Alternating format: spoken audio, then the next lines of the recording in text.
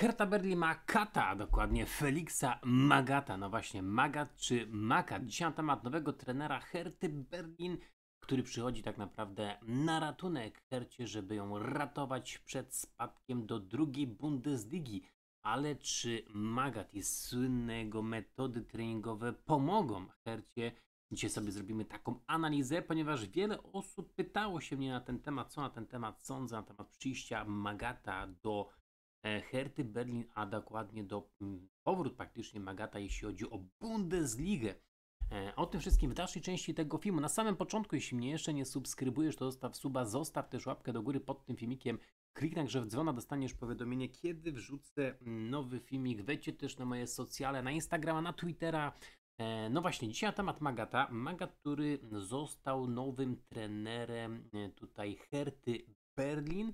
Czy jest to dobra decyzja, dobry wybór? Już są pierwsze spotkania, pierwsze mecze po tym, jak właśnie Magat objął tutaj stanowisko trenera.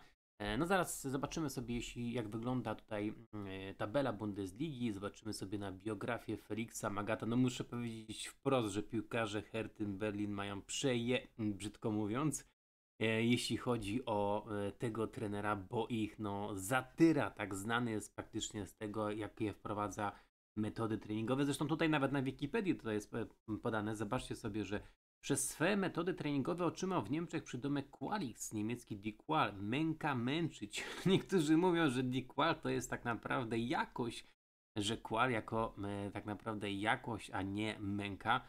No to jest katorżnicza praca, tak? Dla tych piłkarzy, jeśli chodzi o Hertę Berlin, mecz to będzie największa przyjemność przy całym tym cyklu e, treningowym w ciągu tygodnia. Ale ja muszę powiedzieć w ten sposób, czy te metody yy, treningowe Felixa Magata, ta orka, ta ciężka praktycznie praca, są dzisiaj e, no, na wagę złota. Czy też pomogą, jeśli chodzi o Hertę Berlin? To zaraz sobie zobaczymy. Zobaczmy sobie też, jak wyglądają te ostatnie spotkania, ostatnie mecze Herty Berlin. Mamy mecz, który miał miejsce 12 marca z Borussią Mönchengladbach. Yy, tutaj yy, Herta przegrała z Borussią 0 do 2. Następnie mamy mecz 19 marca. Herta pokonała Hoffenheim 3 do 0. Hoffenheim naprawdę ostatnio prezentuje się dobrze. Najbliższe spotkanie to jest Bayer Leverkusen kontra Herta.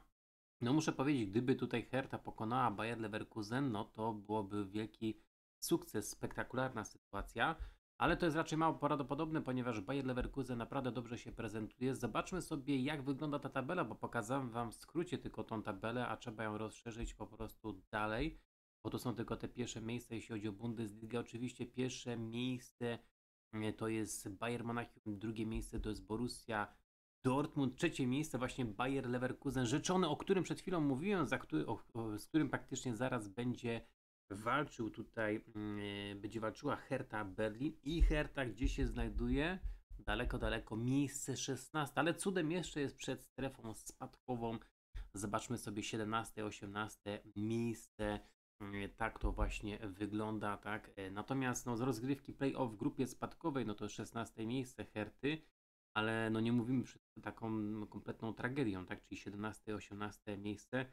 Wydaje się, że Greuter Furt jednak nie odda tej 18 pozycji. No nie ma szans, żeby się dźwignęli w tej statystyce, mm, jeśli chodzi o gole, jeśli chodzi o mecze i tabelę. No Greuter Furt nie, nie da rady podciągnąć się wyżej. Natomiast ja powiem w ten sposób. E, Felix Magat w tych ostatnich klubach, w których pracował, on nie do końca miał sukcesy. Wydaje mi się, że jego takie archaiczne metody pracy, one są dobre, tak? Oczywiście no ja tego nie pochwalam, ale może były dobre w latach 90. czy w latach 2000. Ja bym powiedział, że o, nawet przyjście jego byłoby dobre w przypadku takiej drużyny, która byłaby rozpuszczona finansowo, byłyby tam gwiazdeczki piłkarskie i tak dalej i on by wstrząsnął tą szatnią. Natomiast tutaj jest zupełnie inna sytuacja, ponieważ Hertha Berlin ma problemy w ogóle całościowe, jeśli chodzi o całą drużynę, funkcjonowanie, mm, pion sportowy, transfery. O tym też mówił Klinsmann e, głośno, tak? Że tam jest wiele problemów, wiele nieścisłości. Miał być pobudowany wielki projekt e, piłkarski, e, natomiast to nie wyszło i teraz ma przyjść praktycznie tutaj Felix Magat, który ma pomóc, tak? Który ma wstrząsnąć praktycznie tą Hertą Berlin. Znaczy tak, y, Felix Magath na pewno nie ugra dużo z y, Hertą Berlin. Może tylko uratować tą Hertę Berlin przed strefą spadkową, więc to na pewno może być na plus. Natomiast ja jestem przeciwnikiem takich metod pracy, jakie prezentuje Felix Magath, chyba że rzeczywiście to byłaby drużyna mocno rozpuszczona. E, No to jest po prostu orka, tak? Oni będą brać piłki lekarskie, będą biegać z tymi piłkami lekarskimi po lesie wiele kilometrów i tak dalej. No zatyra praktycznie tych zawodników. Zresztą e, nawet tutaj w Google Maps tego dzisiaj akurat dla Was nie przygotowałem, to chyba są nawet schody imienia Felixa Magata. Ktoś po prostu dał taki wpis, jeśli chodzi o Google Maps Bundeslidze e, w, Niemczech. Oczywiście jest to pół żartem, pół serio, bo nie ma czegoś takiego jak stone, tak? Chyba to były, czy kamienie, kamienie to były chyba Kamienie albo schody były Stairs e, Felixa Magata albo Stone e, Felixa Magata. No to jest po prostu kompletna tragedia. E, Ale zobaczmy sobie też ostatnie kluby, które prowadził tutaj Felix Magat, bo one wyglądają w ten sposób, tak, że mamy tutaj mm, klub z Chin, Shandong, Luneng, Taishan. No to jest oczywista sprawa, że prowadził ten klub, tak, była to kwestia finansowa, ale bardziej bym tutaj skupił się na kwestii Wolfsburga czy też Fula, jeśli chodzi o Wolfsburga. E, No, Felix Magath przecież miał też Polaków e, pod swoimi skrzydłami, jak był trenerem w Bundeslidze w latach 2000, na początku lat 2000. Przecież występował u niego Kryszałowicz. E, Kto jeszcze u niego tam występował?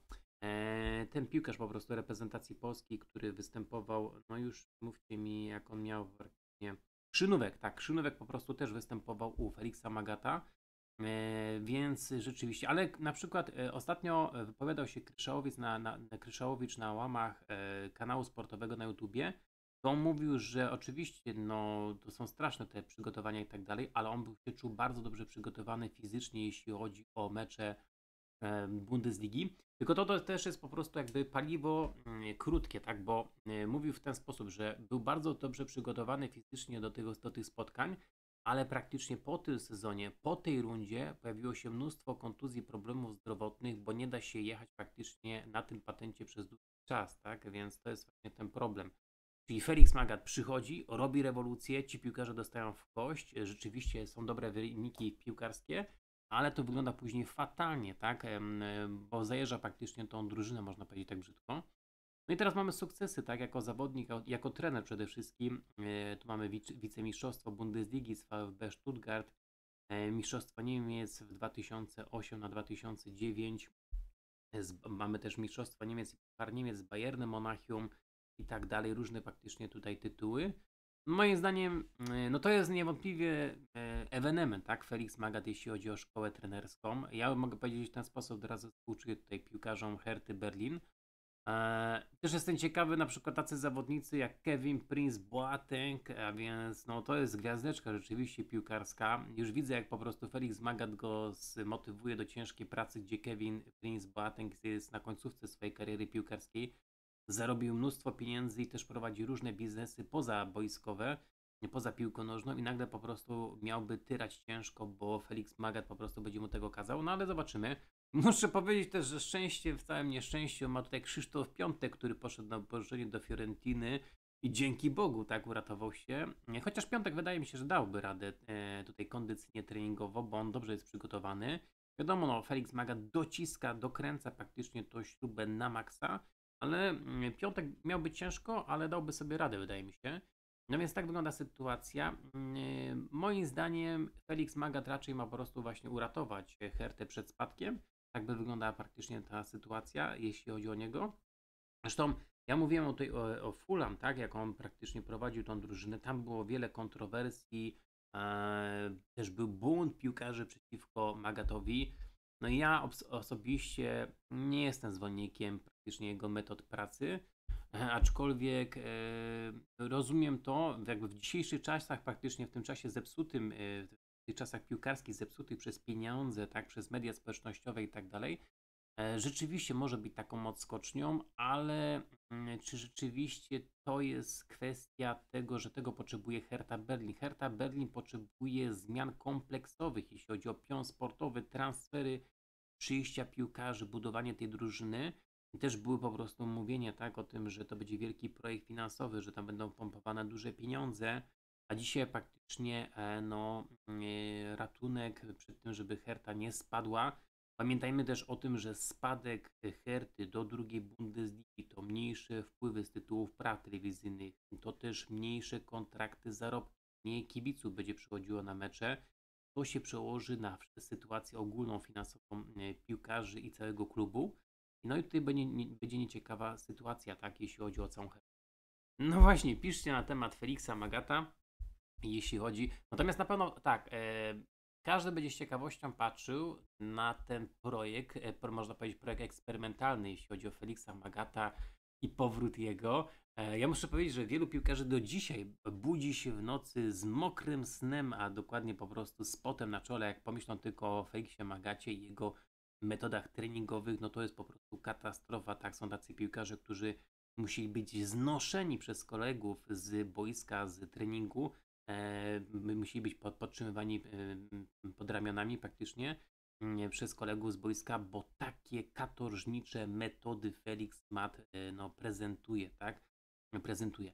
Aczkolwiek ja muszę powiedzieć w ten sposób, że, mm, bo my tu mówimy na przykład tak, że z drugiej strony są tacy trenerzy, trenerzy jak Pep Guardiola czy Klopp, ale Klopp jakby Borussii Dortmund też jego jedna z filozofii mówiła w ten sposób, co nie ugracie na boisku, to ich zabiegacie.